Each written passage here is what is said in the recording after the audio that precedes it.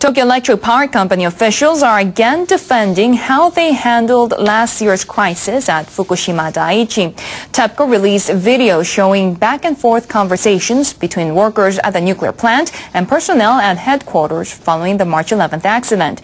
At one point, top executives get up and leave their posts. NHK World's Minako Misawa tells us what happened.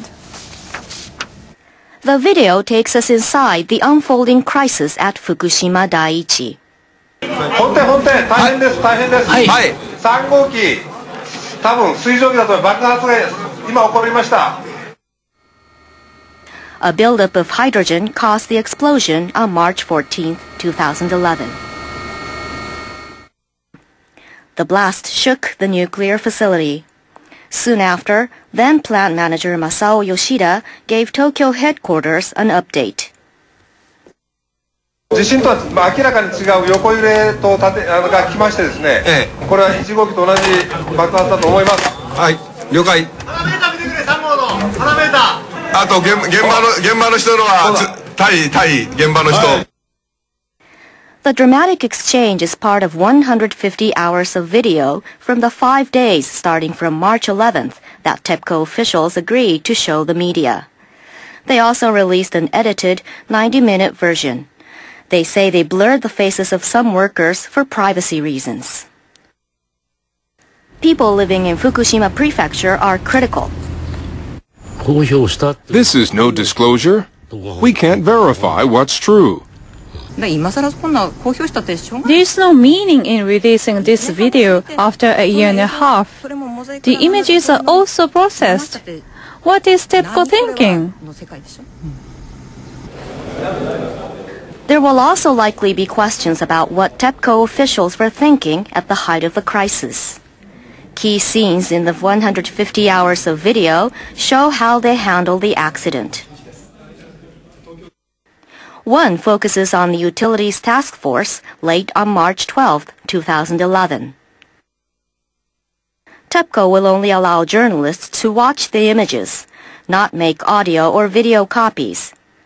NHK's reporting team heard an executive say dismissed. Then they saw the president and most executives leave the room.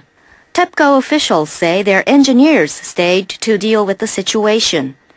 But the video shows almost all of the company's top officials temporarily leaving the task force room while the emergency unfolded.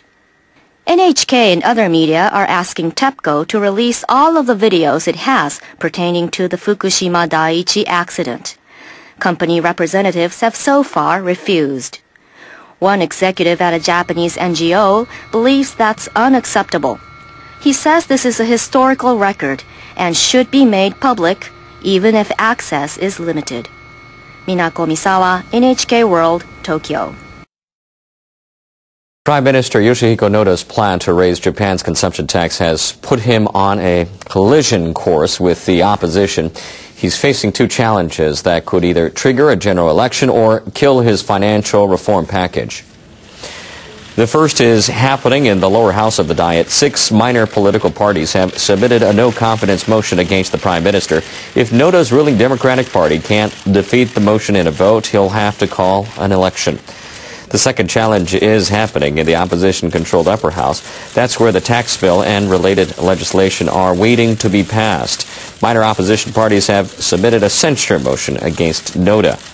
Members of the main opposition Liberal Democratic Party say they'll only vote against the motion if the Prime Minister promises to dissolve the lower house soon and call a general election. That's really the only way Noda can save his financial reform package, which would raise the consumption tax from 5 to 10 percent by 2015. He technically doesn't have to call an election until next summer, but he might be forced to do that sooner.